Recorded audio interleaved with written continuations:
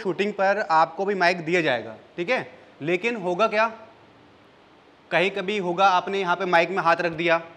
या आपने नहीं रखा आपके को आर्टिस्ट ने आपको ऐसे पकड़ा आपको तुरंत कट बोलना चाहिए था। सर आवाज़ नहीं आई है फिर से करना एक बार। वॉइस क्लियर नहीं आई माइक पे हाथ आ गया। तो वो उसकी गलती मानी जाएगी पहले। उसको डांट खानी पड़ेगी।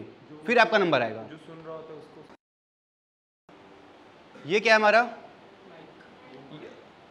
ये है बूम माइक कौन सा माइक?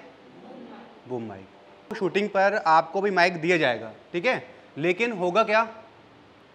कहीं कभी होगा, आपने यहाँ पे माइक में हाथ रख दिया। या आपने रखा, आपके को आर्टिस्ट ने आपको ऐसे पकड़ा कि आपका माइक पे हाथ आ गया। तो ये हमारे पास बैकअप के लिए रहेगा। समझ रहे ना? तो ये इसलिए बैकअप के लिए हम लोग यूज़ करते हैं। कहीं कहीं ऐसा भी होगा कि आपके पास माइक नहीं होगा। सिर्फ़ बूम माइक ही होगा। दिख रहा है ना? ऐसे माइक होगा सेट पे। क्या बोलते हैं इसको? बूम माइक काम क्या है इसका? आप बताइए, इधर आइए। आइए इधर, सोइए मत। इन लोग को बताइए काम क्या करता है ये? इनको बताइए।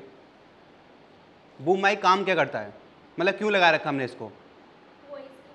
वॉइस रिकॉर्डिंग होगी ना इसमें? ठीक है। समझ रहे हैं?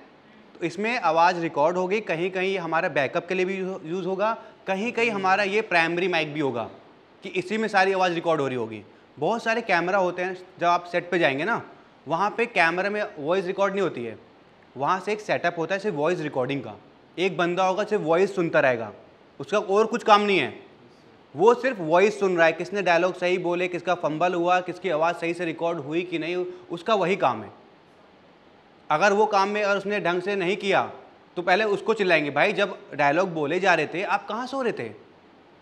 इसने गलत बोला या गलत, छोड़ो, इसने, इसकी आवाज़ यहाँ पे आई नहीं, आपने कैसे सुन लिया कि इसकी आवाज़ आई थी? आपको तुरंत कट बोलना चाहिए था। सर आवाज़ नहीं आई है फिर से करना है एक बार।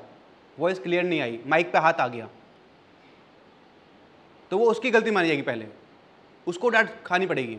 फिर आपका नंबर आएगा। जो सुन रहा होता है उसको हाँ आप देखना सेट पे एक बंदा ऐसे हेडफोन लगा के बैठेगा। और पूरा उसके बाद पूरा सेटअप रखा होगा माइक वाला। वही आपको माइक भी देगा वही सब कुछ करेगा आपको। उसके लिए एक अलग बंदा होता है सेट पे। माइक वाला। ठीक है? हाँ। वो पूरा आवाज़ ही सुनेगा, उससे कोई मतलब नहीं है वीडियो से। वीडियो तुम कैसे शूट कर रहे हो, कहाँ कर रहे हो, कोई लेना देना नहीं है उसको। उसको अपनी आवाज़ से मतलब है कि आवाज़ साउंड क्लियर आ रहा है कि नहीं आ रहा है। कहीं बाहर से आवाज़ आते ही बोलेगा साइलेंट तो सब लोग साइलेंट हो जाएँगे। बाहर सर बहुत आवाज़ आ रही है नॉइज़ आ रही है अंदर। तो फिर वो नॉइज़ कम करने के लिए लोग को वहाँ चिल्लाएगा जो प्रोडक्शन मैनेजर रहेगा, कौन हल्ला मचा रहा है, कौन चल रहा है, कौन पीछे घूम रहा है, कौन यहाँ खड़ा है, कौन बातें कर रहा है। एक एक चीज़ें रिकॉर्ड होंगी इसमें तो आप जो बातें कर रहे हो, जो बात करते हैं, फिर आपको डांट खाने को मिलेगा।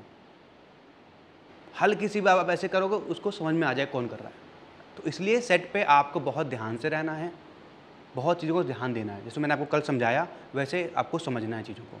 आप नए हैं, जब आप शाहरुख खान, सलमान खान बन जाएँगे, तब आप जो करेंगे, वही सबको अच्छा लगेगा बट जब तक नहीं बन रहे हैं, तब तक उन बातों का ध्यान दीजिए। वो माइक क्लियर है?